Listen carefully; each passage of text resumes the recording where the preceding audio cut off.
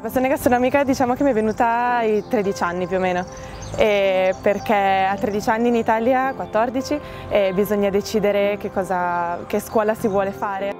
E niente, io ho scelto di fare gastronomia e fortunatamente è rimasto quello il mio sogno da, da, da quell'età. Dopo gli esami del, di maturità ho lavorato sei mesi in un ristorante, però non mi sembrava di avere le qualità sufficienti per, per poter lavorare in un ristorante di alto livello.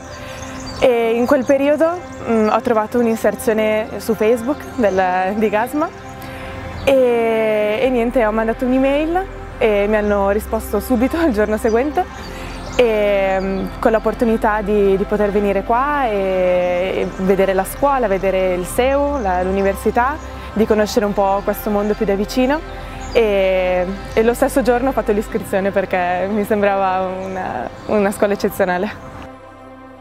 E mi sono trovata benissimo fin dal primo giorno, le persone sono fantastiche e è come essere una famiglia qua. E già con i professori del, dell'università del SEU sono meravigliosi, quelli di Gasma di più e con i compagni tutto perfetto, anche Castellone è una città bellissima. E fino a che sono rimasta in Italia e mm, veramente non, me, non, mi ero resa conto eh, di quanto Spagna fosse grande nella, nel mondo della gastronomia. Appena mi sono trasferita qui ho capito che veramente negli ultimi anni è uno dei più grandi movimenti in, nella, nella, gastronomia e sono felicissima di, anche inconsapevolmente di, di essere venuta qua ed aver scoperto questo nuovo mondo.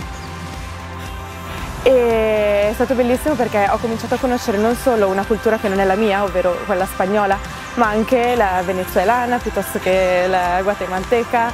E, è stato veramente bello perché non solo adesso che mm, sono qua solo da un anno, praticamente conosco tantissime nazionalità diverse, tantissimi piatti diversi e questa è la cosa migliore.